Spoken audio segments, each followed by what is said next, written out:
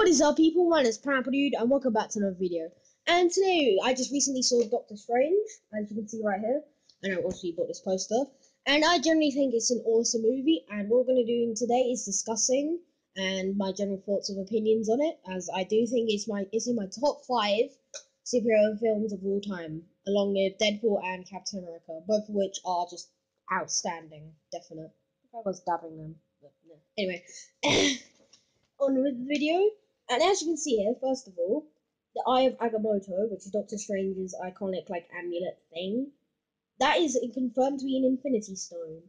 I think it's a Time Stone, and if you've been pay- paying attention to most recent Marvel films, including I think it's yeah Age of Ultron and Guardians of the Galaxy and Thor: Dark World, they all have Infinity Stones in it. This makes this the fourth and final Infinity Stone which means that Doctor Strange will appear, maybe, in Avengers Infinity War. That's probably already confirmed, but I'm just going over it because in the film it opens up and that little green smudge there, maybe you can see, probably not, the colour's really bad, is the Infinity Stone pretty much, which I think powers it or something, gives him his powers.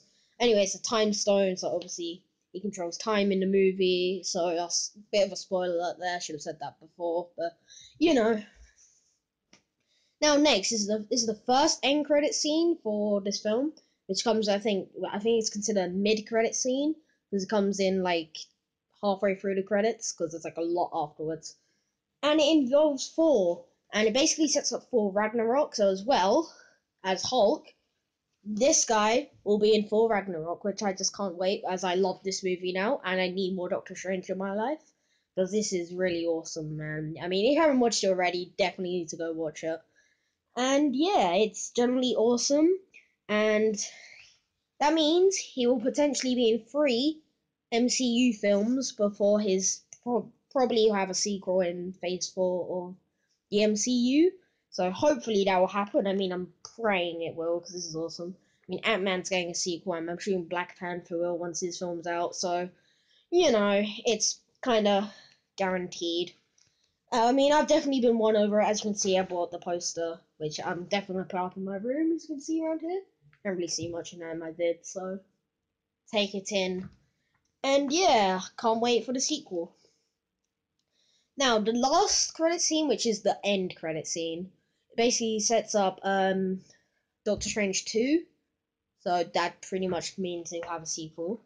And one of the characters in the film, Mordo, which in the comics is like his major villain, gets sort of set up near the end of this movie. As slowly he turns evil and kind of hates sorcerers, such as this chap. Yeah. So he will probably be the main antagonist of when the sequel comes around. Um, and as well, in the film, you get to see Dormammu, which I know is a really big bad, as well as Thanos in the film. And he's kind of like a big space alien rock thing. I really should have said this at the beginning of the video, but if you haven't already, this is a huge spoiler.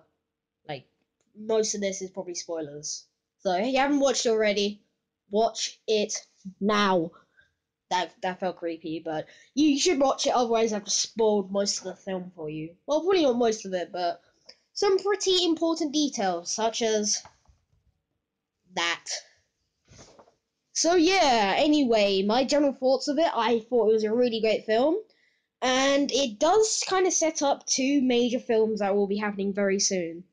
I hope you enjoyed this video. Please like and subscribe. See you all next time. Goodbye.